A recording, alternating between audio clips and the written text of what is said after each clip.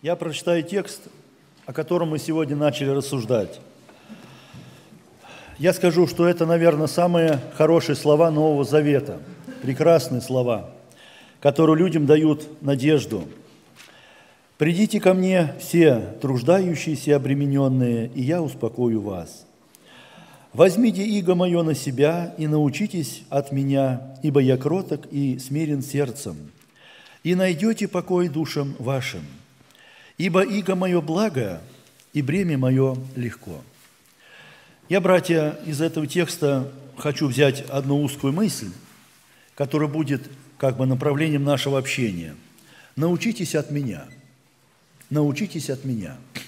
Сегодня в мире существует масса учителей, преподавателей, педагогов, которые очень в этом отношении талантливые люди. Они умеют преподавать, они умеют говорить. Их уроки стоят очень дорого – Час один общения с преподавателем стоит, бывает, тысячи долларов. Почему люди ценят таких преподавателей? От них можно чему-то научиться. То есть это люди грамотные. Он не просто говорить умеет. Научиться говорить проще. А он именно знает предмет.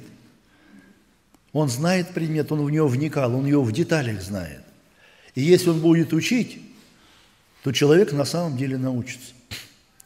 Представьте себе, великий Сын Божий, обращаясь к людям, говорит, научитесь от меня. Братья, не правда ли очень прекрасное предложение? Научитесь от меня. Чему можно научиться от Христа? И вообще, чему люди хотели бы научиться? Ну, я думаю, хотели бы научиться от Него, например, хлеб умножать. Как бы это было хорошо, да? Не надо было бы запасы пищи себе делать. Взял кусок хлеба, вышел перед всеми, начал преломлять. И вот, казалось бы, этот кусочек должен закончиться, а он растет, растет, растет, растет, потом раздали. Все сытые? Не все. Добавили, еще добавили. Ну, помните, как оно было. Даже осталось. То есть наелись все полностью. Можно было бы научиться от него исцелять. Это вообще прекрасно. Сколько сегодня страждущих, сколько сегодня в очередях сидит, а сколько сегодня неизлечимых болезней. Люди мечтают попасть на консультацию к какому-нибудь доктору или кандидату, или к большому специалисту. У врачей тоже категории есть. А тут помолился, или там еще что-то сказал. Ну, помните, как Христос делал? Кому-то брением глаза помазал, на ком-то там помолился, руки возложил – Человек здоров. Прекрасно, братья. Или, например, научиться стихии повелевать.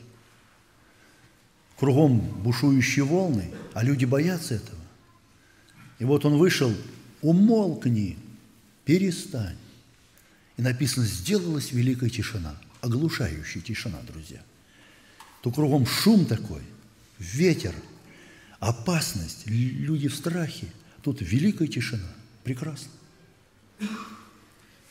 А может еще что-нибудь, братья? А если вообще воскрешать, вообще чудесно. И они были свидетели, как он это делал. По воде ходить тоже хорошо. Но почему-то Христос этому не учил, друзья. Были случаи, когда Он посылал учеников, давал им власть, и они приходили очень радостные.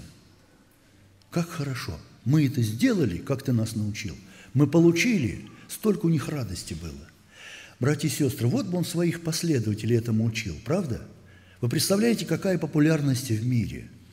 Сколько бы людей тянулись за этими чудотворцами? Ну, если бы мы, кто-то из нас такими были. Как это было бы здорово. А вот бесноватый вышел. То же самое. Люди боялись проходить, а Христос не побоялся. Учеников с собой повел. И вот написано, этот человек, которого все боялись, вот он сидит одетый, рассуждает здраво. Братья, братья, я скажу, у Христа можно многому учиться. Всему можно было бы научиться. Но когда Он приглашает в свой класс, Он говорит, научитесь. Я кроток и смирен сердцем. Господи, может быть, это другим надо, а не нам? И вот почему-то этот вопрос когда-то в юности я задавал себе. Ну почему? Но представьте себе, вот мы когда-то были мальчишками, и для нас папа был самый сильный, самый смелый, самый умный. Или не так, братья? Так должно быть. Папа – это олицетворение силы, мужества, разума, власти, ну, всего, чего хотите. Если кто-то обидит меня на улице, я пойду папу позову. Ты знаешь, что он с тобой сделает? В школе обидит, я пойду папу позову. Он придет, и тебе плохо будет. Братья, а тут вот мы имеем великого отца, а его позвать никуда нельзя. Он скажет, ты будь кротким и смиренным. Мы дети великого отца. И он нас приглашает, не наделяет нас особой силой, чтобы мы могли ответить обидчику, а вот будьте кроткие и смиренные. Братья, это как бы вводная часть. И вот опять эти слова. «Я кроток и смирен сердцем. Научитесь от меня. Научитесь от меня». Почему, братья? Ну, первое, на что надо внимание обратить, э, что кротость, само это слово, я его раньше, э, как бы сказать, воспринимал, ну, немножко не совсем правильно.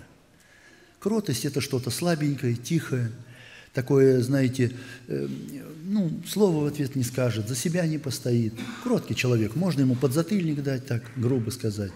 Вот он не ответит на это. Ну и вот таким кротким быть не, не все хотят. Ну, что-то такое, знаете, э, закомплексованное.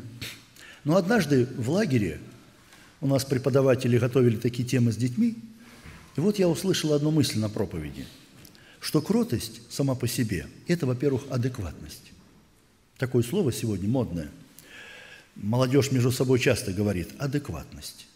Ты неадекватный или наоборот адекватный. Адекватность – это равнозначие. Сегодня люди неадекватные.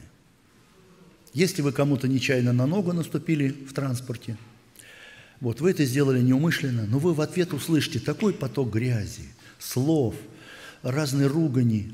Если кому-то где-то дорогу подрезали, ну, на машине, допустим, опять я говорю, нечаянно, то есть вы не хотели этого, ну вот на дороге всякие бывают ситуации. И опять в ответ э, мат, в ответ угрозы, хорошо, если не дойдет до рукоприкладства, до ударов, до синяков, до убийства. А ведь бывает, друзья. То есть люди сами по себе неадекватные, неадекватные. И вот кротость, как выразился один американский э, пастор, мне понравилась его мысль, это Божья сила, которая способна обуздать наши эмоции. Кротость – это Божья сила, способна обуздать наши эмоции. Я сначала это не принял. Как-то мне показалось оно не совсем по-евангельски. Но когда я поразмыслил, друзья, я для себя нашел массу примеров, и я понял, это именно так. Это вот та Божья сила способна обуздать мои эмоции. У меня их много. Они могут загораться – они стараются выплеснуться. Это сила Божья, друзья. И вот почему-то кротким столько обетований дается. Мы эти обетования читаем еще в Ветхом Завете.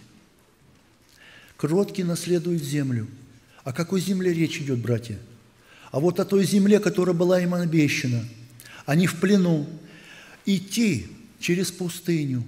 Расстояние, друзья, не очень большое, по сути дела – братья Иосифа проходили его там за несколько дней.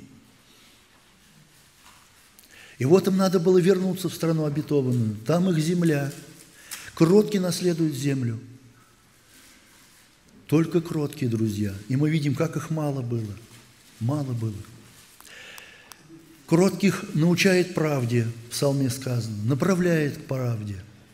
Поэтому, друзья, вот эти примеры, они очень-очень важные – а рядом с кротостью идет еще одно качество – смирение. Братья, где между ними разница? Ну, я для себя ее в чем нашел? Кротость – это, как бы сказать, внешнее поведение, которое видимо людьми, но смирение – это внутреннее качество. Это мое состояние сердца перед Богом. У нас в собрании интересная мысль прозвучала, я ее законспектировал. Брат один проповедовал и на тему о смирении. И вот о смирении он несколько таких положений. Я их успел записать. Первое. Если вы хотите, чтобы вы были смиренные люди, соответственно, кроткие, первое, старайтесь меньше говорить. Второе. Занимайтесь своим делом. Третье. Не вмешивайтесь в чужие дела. Четвертое. Не будьте любопытными. Пятое. Принимайте с радостью критику. Шестое. Все принимайте без ропота и обиды. Седьмое. Будьте спокойны, если вам кажется, что вас забыли или не поняли.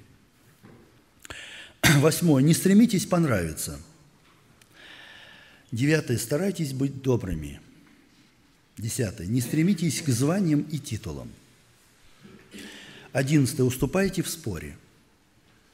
Двенадцатое. Не ищите легких путей. Я знаю, братья, кто-то скажет, ну, простота какая-то. Но если вы их запишете, эти качества, и над ними поработаете, вы поймете, это, в принципе, нормальные качества, о которых мы порой думаем, не думаем, ну, как бы они есть, но не у нас. А если им следовать, это, в общем-то, выражение кроткого человека. Вот в чем они выражаются. Но это, братья, уже, так сказать, наши находки. Мне бы хотелось эту мысль подчеркнуть или показать на примере прекрасных мужей Божьих, о которых мы знаем в Библии. Вот о Моисее сказано, что он кратчайший человек. О нем это Бог сказал. Братья, а где у него проявлялась кротость? Назовите. Вот реально, где она проявлялась? Пожалуйста, Костя. Хорошо, я объясню. Вот брат говорит, случай с Мариамью. Публично сестра его обвинила в том, или осудила, что он взял себе жену, но она была негритянка. То есть она была, ну, я так слышал, вот, значит, темная, или как правильно сказать, не знаю. Вот. И вот, э, значит, э, видать, это был какой-то больной вопрос, и она его в этом осудила. Братья, права она была или нет? А что вы стесняетесь сказать? За кого Бог заступился? За Моисея. Она была не права. И вот его реакция была очень правильная. Хорошо, еще случай есть?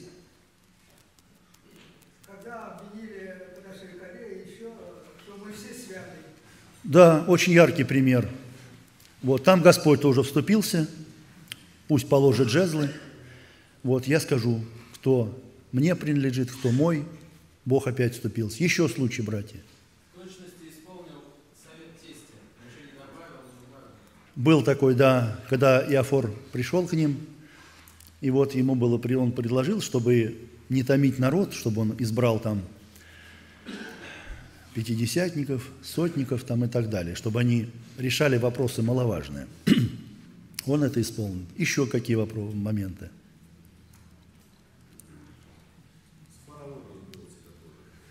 с фараоном. Да, можно сказать, друзья. Эта мысль очень важна. Э, кроткий человек, истинный кроткий человек, это не трусливый человек. Истинный кроткий человек, он, во-первых, кроток перед Богом. Он в смирении ходит. И когда надо стать за истину, он это сделает без проблем. Согласен еще, братья?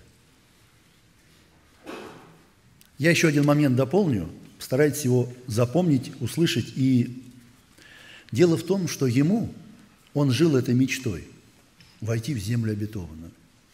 Но однажды, однажды, написано, он погрешил устами своими. Он не явил святости. И Бог ему сказал, не войдешь в землю. Братья, это для него было страшное-страшное переживание. Он жил этим. Вообще у него было три периода жизни. Вы же знаете, да? Первые 40 лет во дворце, вторые 40 лет на поле возле овец, и третьи 40 лет он был предводителем народа Божьего. 80 лет Бог его готовил к этой особой должности. 80 лет. И он уже шел, он мечтал. Он по-другому жить не мог, братья. Он только этим жил. И вот однажды, не явив святости, когда он в скалу ударил вместо того, чтобы сказать, Ему сказано было, не войдешь. Вы знаете, братья, в таком случае люди как реагируют? Ну, с Богом не поспоришь. Ему же не выскажешь. Люди в себя уходят. Люди обижаются. Эта обида их страшно наполняет. И у них отключается сознание. Это, знаете, глубокая депрессия. Но не Моисей. Его кротость в том, что после этих слов он написал книгу Второзакония. Она написана тогда, когда он уже знал, что он в землю не войдет. Почитайте книгу Второзакония, друзья. Да, там грусть везде проглядывается. Он говорит о том, что вот он был раздражен народом, что Господь на меня прогневался. Но, тем не менее, спокойное изложение закона, спокойное толкование закона, он понимал, да, он не войдет, но народу жить по этому закону. И он его по новой, по новой толкует, как бы сказать, объясняет. В каком спокойном духе? Братья, это только кроткий человек мог сделать. И почему Бог признал эту кротость, эту адекватность? Он на самом деле был полезным таким орудием, сосудом в руках Господа. И это очень прекрасный пример. Можно вспомнить, братья, других э, героев веры. Очень яркий пример Исаак. Вот чем он отличался от Авраама и от Иакова? Тем, что ему досталось, братья, копать колодцы. Какое трудное дело. Мы с вами с этим, может быть, и знакомы, но у нас земля не та, а там камень. В Палестине там вообще слой почвы очень неглубокий. И дальше камень, камень, камень, камень, камень, камень.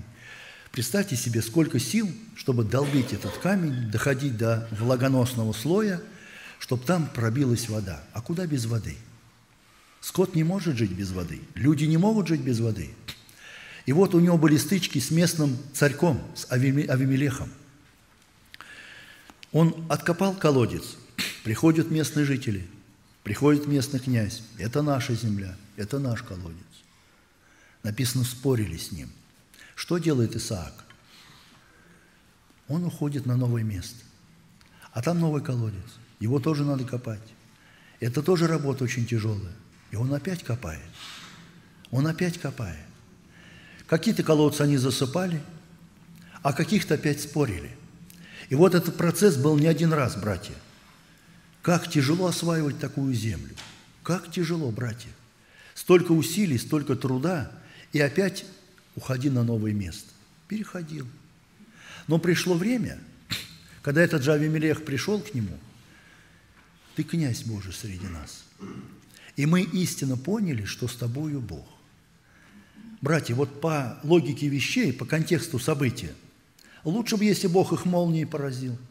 Ну, как во время Или, например, пятидесятника с его пятидесятком. Или, может быть, какое-то чудо явил. Вот тогда бы да, люди бы устрашились, они бы перед ним раболепствовали. А вот здесь какая-то, знаете, беззащитная такая вот ситуация. Даже не у кого защиты попросить. И Бог за этим наблюдал. И Богу приятно было, что его э, слуга поступает не так вот, не насильственным образом, не агрессией, а он спокойно оставляет очередной колодец, переходит на новое место. Братья, это тоже нелегко, я скажу – когда нас бьют по правой щеке и просят левую подставить, ох, как это тяжело. Ох, как это тяжело. Но вы заметьте, за всеми этими законами стоит законодатель. Стоит законодатель. Я в своей жизни не раз это испытывал, ну, особенно на дороге. Еду с Москвы, возвращаюсь очень поздно, часа там полчетвертого утра уже, поворачиваю к себе к дому – Впереди машина на меня едет. Ну, а ночью, братья, ездят люди-то не совсем путевые. И получилось так. В общем-то, я и не виноват был. Но, видать, они не трезвые. Они подумали, что я им подрезал. И, видать, испугались. Машину остановили. Такие три парня выбегают и к моей машине бегут. Что делать? Понятно, бегут не с добрыми намерениями. Заряженные такие вот – ты куда едешь? Орут. Ну, я спокойно двери открыл. Говорю, ребят, я виноват. Я с дороги вот виноват. И вы знаете, братья, я удивился реакцией. Вот как будто они на стену наткнулись. Ну, меня разглядели, подошли. Ну, батя, извини, ты так не езди, вот мы туда-сюда, там с девочками едем. Вот мы могли бы ударить тебя. Но я чему удивился, братья? Вот именно что мой кроткий ответ моментально их остановил. Похожая ситуация еще однажды была. Прям почти один в один. То есть люди воспринимают и готовы как-то на это очень бурно реагировать. Кроткий ответ утешает гнев, как написано. Кроткий ответ. Кроткий ответ кости переламывает. То есть костность людей, вот их неспособность быть жесткими такими, кротость может это, знаете, изменить. И я невольно понимаю, что вот эти слова, которые Христос сказал, они весьма-весьма важны, братья. Кроткие наследуют землю. Можно, братья, вспомнить Иосифа. Я тоже о нем много размышлял. В чем его кротость? Давайте, братья, вспомним, где он кротость явил – Яркая личность, правда? Сейчас, сейчас, сейчас, братья, с женой Патифара в чем там? В чем, когда она его обвиняла, он делал, он просто промолчал, ничего не сказал. Так. И добавлю, а вот бы сказал, когда уже у власти это был, взял бы, да к ней приехал. Вот интересно была бы картина, правда?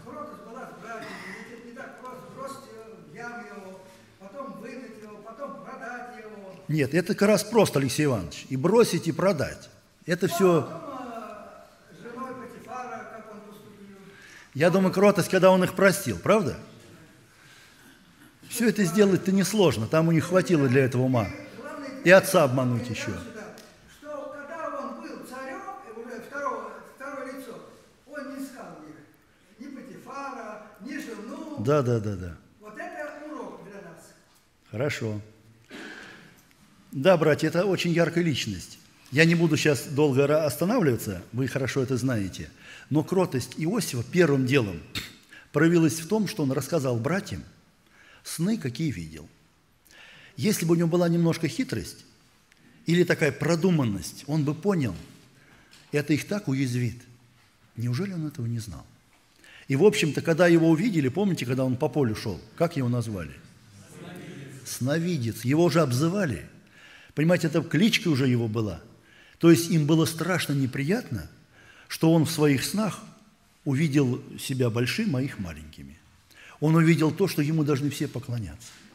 Но он рассказал так, как видел. Братья, это истинная кротость. Это истинная кротость. Он не продумывал, какой будет результат или к чему это приведет. Это на самом деле истинная кротость. А потом уже то, что вы сказали. И как он братьев простил. Но я еще одну добавлю деталь, братья.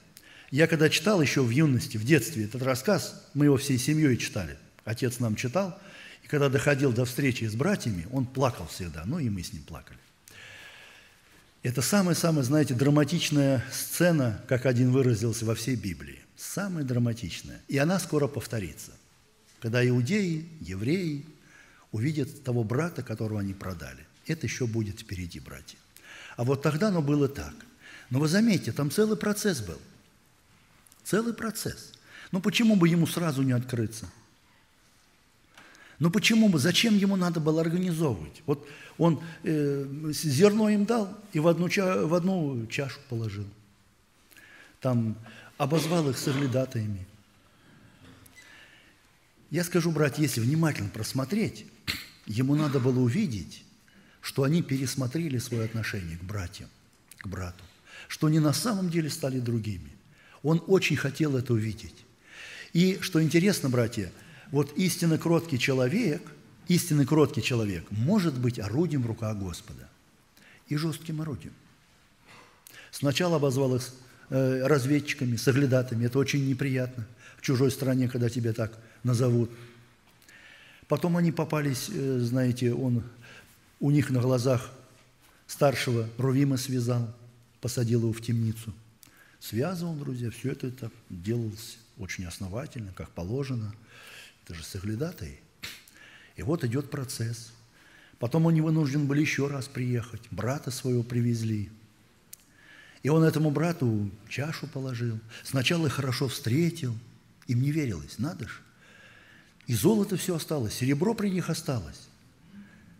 Они уже готовы были и признались в этом, как бы сказать, немножко подстраховались, что это не мы в этом виноваты. Он их опять накормил. Был момент, когда написано, вскипело его сердце. И он вышел в другую комнату, он им не открылся. То есть, понимаете, братья, вот целый-целый процесс. И Бог через этого кроткого человека мог это осуществить. Это только истинный кроткий человек на это способен. И потом мы видим, опять возвращают всех братьев. Они очень расстроены, очень раздавлены морально. И вспомните, как Иуда, там целая его речь. Он умоляет, умоляет Иосифа об одной великой милости. Не о том, чтобы он брат отпустил, а о том, чтобы он его оставил вместо Вениамина. И вот здесь Иосиф понял, дошло все-таки до братьев, дошло до братьев. Они очень отца любят, и он здесь им открылся. Я хочу, братья, еще раз это подчеркнуть, что только истинно кроткий человек может быть орудием в руках Господа. И когда надо, вот таким жестким орудием. Похожий пример сегодня брат говорил, Леша, за Неимана. Разве пророк Елисей был такой неуважительный? Разве он был такой невоспитанный? Да ко мне, если человек простой приедет к дому, я выйду, встречу, поздороваюсь, спрошу у него. Нет. Он подъехал, такая кавалькада, наверное, колесниц, все это очень богато, все это, ну, сразу видно, большой чиновник приехал. А он дома сидит. И я не думаю, что, друзья, он такой был невоспитан. Уж хотя бы выйти, там, ну, поговорить как-то вот. Нет. Вот это очищение началось уже теперь. Понимаете? Вот здесь началось очищение. Не тогда, когда он семь раз окунулся, а вот же здесь, в духе начинается процесс. Он сначала вспылил, вот эти эмоции все, развернул свои колесницы, стеганул по ним сильно по лошадям, и вот они обратно вот в клубах пыли полетели. И хорошо у него кроткие слухи были. Как они его осадили, остудили, господин. Если бы что-то такое важное, ты бы сделал. Ну, а тут не такое уж и важно. Ну, давай сделаем, как пророк сказал. Братья, вот здесь уже в духе такая вот идет, э, знаете, перестройка. И кроткий Елисей, он мог, как орудие Господа, в этом быть полезным. Он не вышел только поэтому. Только поэтому. Он через кого-то передал указания, а сам даже не вышел. Поэтому, братья, кроткий человек, он может быть орудием в руках Господа. Истинный кроткий человек. Почему о кротости много сказано, братья? Потому что... Пожалуйста, брат. Мне кажется, очень важная мысль, когда говорили, где твой расход, его спрашивали, он сказал, что меня продали и, ну, сюда. Не сказал, что братья, да. а украли, сказал, украли. Вот мысль, что за братья ничего плохого не говорит, такая кротость, ну, Да, да, да. Да. Хорошее дополнение, брат И когда Петя. отец умер, братья пришли, говорят, прости вину рабов, а Иосиф плакал. Плакал, да. Когда, значит, они поняли, что если отца не будет, вдруг там нарушится это равновесие. Они к нему послали, вот отец, мол, и написано, он плакал. Братья, это кроткое сердце. Я вот просто пленен этой кротостью. Перечитывал недавно, и, ну, тоже слезы на глазах. Вот какое надо иметь сердце, чтобы не отомстить. Даже когда они э, уже поняли все, он говорит, Бог меня послал. Это, братья, духовная высота. Бог меня послал. Он увидел здесь э, действование Божье, вот, что они такие очень-очень важные. И он для нас, и Иосиф является вот прообразом Иисуса Христа, его характера.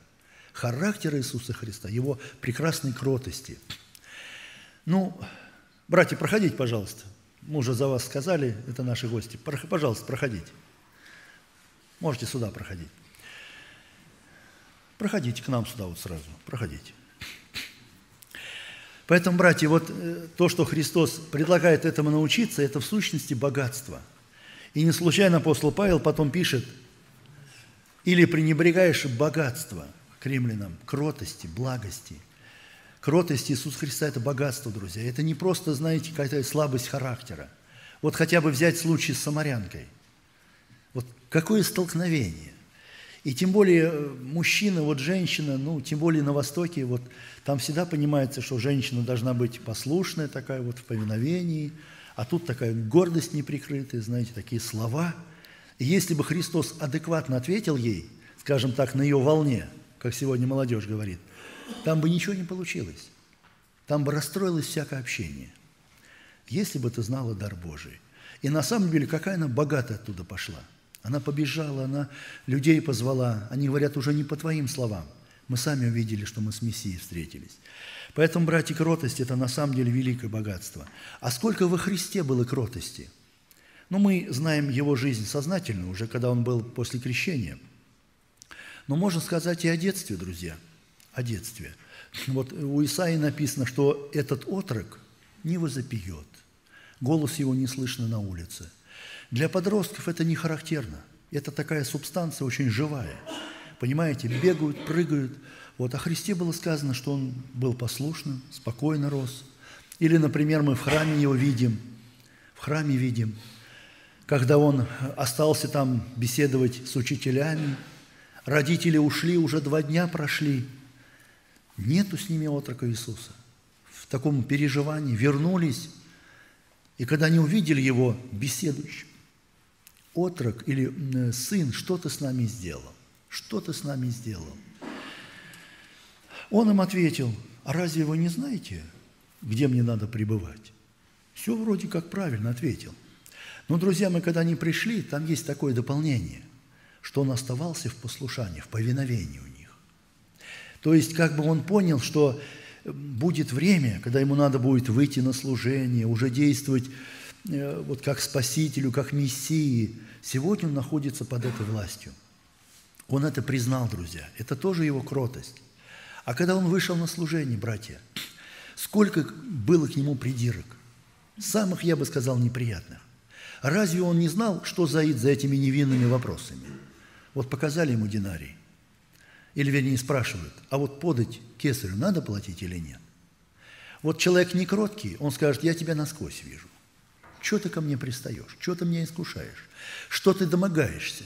Друзья мои, любой ответ, только не тот, который у Христа был. Покажите мне динарий. Показали. Чья тут надпись, чье изображение? Братья, чувствуете, какая кротость? Вот в ответе. Отдавайте Божье Богу, а кесареву кесарю. Или, например, страшное обвинение, которое он услышал, в тебе без. Вот как бы мы среагировали, братья, если бы кто-то нас вот таким образом заподозрил? И какой кроткий ответ? Во мне – Беса нет.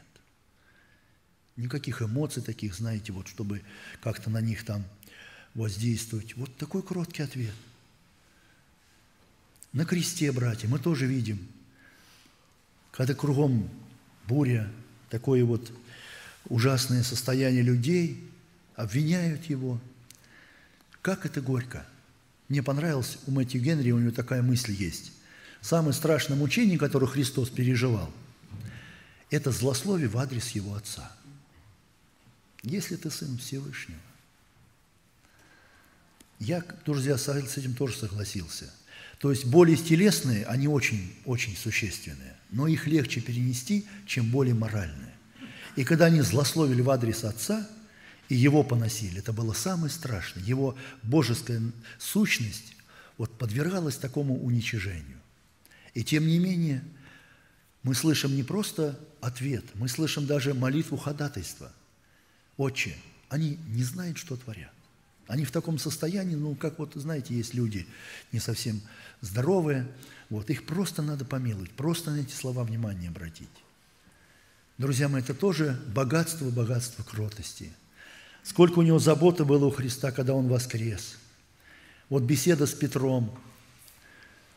Вот я думаю, как бы вот Христос нашел его иначе? Вот какие бы слова должен был сказать? Ведь публичное отречение. А он был инициативный человек. Он среди учеников был как бы лидером, первым. И Христос его даже похвалил однажды. Ну как вот на этой почве не вырасти? И после такое бесславное отречение. И вот мы видим его беседу. «Любишь ли ты меня больше, нежели они?» Но я, братья, все в деталях не пересказываю, потому что мы знаем эти моменты. Это все богатство, кротость Иисуса Христа. И обратите внимание, братья, это вот та ценность, которую Бог нам передает. Свой добрый характер. И э, насколько мы э, богаче, или, братья, насколько наша жизнь лучше, если мы на самом деле учимся кротости у Христа. Ну, многие из нас в благовестии участвуют. Многие стоят на библиотеках. Вот как неприятно, когда нас воспринимают плохо. Ну, называют там по-разному. А ведь мы же хорошие люди. а нас плохими называют. Мы же знаем, что мы не делаем зла. Нас называют сектантами там и ну, куча разных слов. Братья, вот вся эта вот, как бы сказать, для кроткого сердца переносится легко. Для некроткого сердца переносится очень тяжело, потому что страдает наше самолюбие, страдает наше чувство собственного достоинства, сильно страдает. Мне понравилось, как один э, проповедник, у него спросили, а что бы Христос сегодня делал, если бы он жил на земле? Он сказал так, он бы взял пачку трактатов, пошел бы на улицу раздавать трактаты. То есть, в принципе, он занимался бы тем служением, которым мы занимаемся, вот в нашей такой самой повседневном нашем служении. И только кроткое сердце, братья, способно перенести упреки, обзывания, какие-то недоразумения. Только кроткое сердце. Не кроткое будет загораться, будет протестовать, будет что-то отстаивать, а кроткое перенесет. Кроткий человек, друзья, хорошо перенимает, припереносит все трудности. Кроткий человек. Ну, болезнь, например. Первая мысль, почему я? Вот мне сообщили, что я больной, мне какая-то болезнь, может, неизлечимая. Человек не кроткий, опять же, погружается в обиды, в огорчение, в жизнь кругом него воспаляется. Почему я? Почему мне? Да и вообще любая трудность, братья, кроткий человек хорошо воспринимает, не кроткий – очень болезненно. Поэтому это на самом деле богатство. Или, например, в кротости примите насаждаемое слово. В кротости. Почему? Потому что не все слово легко принимается. И мы с вами хорошо знаем, обличить того, кто кроткий, легко, совет дать. Того, который вспыхнет, который обидится, не знаешь, как к нему подойти. А ведь эта беда не твоя, брат, а того, кому, кому надо обличить. Это же его беда, что к нему невозможно подойти. А кроткий всегда воспримет. А в бытовых ситуациях, братья, вот в книге Экклезиаст там такой есть текст, что если вот там где-то, наверное, на работе проблема возникла с начальником, там это слово употребляется, то ты свое место не оставляй. И кротость, она умеет это исправить. Тоже кротость, братья. Там, где мы работаем с вами, как хорошо, если мы кроткие люди. Но опять же, это не о том, что это какая-то слабость. Это, наоборот, прекрасный характер Иисуса Христа. Поэтому, братья, мне бы хотелось, чтобы мы с вами захотели вот реально брать пример со Христа – все кроткие, которые шли в свое время, они наследуют землю. Они насладятся множеством мира. Блаженный кроткий, опять же, в, блажен, в Западе блаженстве тоже это повторяется. Это прекрасное-прекрасное качество. Это прекрасный характер, который очень угоден Богу, который очень хорошо сходится с людьми, который имеет ценность в служении, в жизни, в семье. Брать именно кротость. Поэтому да поможет нам Господь, чтобы мы, как истинные ученики, учились у Христа кротости. Слава за все Ему. Аминь.